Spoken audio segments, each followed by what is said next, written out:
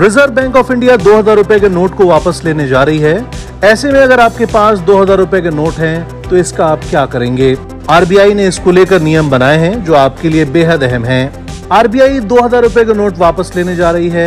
अब न दो हज़ार रूपए के नोट छापे जाएँगे, और न ही इसे जारी किया जाएगा। ये नोट 30 सितंबर तक कानूनी रूप से वैध रहेंगे। अगर आपके पास ये नोट हैं तो उसे फॉरेन एक्सचेंज करा लें। एक समय में बीस हज़ार रूपए तक ही एक्सचेंज हो पाएँगे। आप अपने नजदीकी बैंक में जाकर ये नोट बदल सकते हैं। आरबीआई ने अपने रिपोर्ट में कहा कि 2018-2019 में यह नोट को छापना बंद कर दिया गया था। आरबीआई ने यह फैसला क्लीन नोट पॉलिसी के तहत लिया है।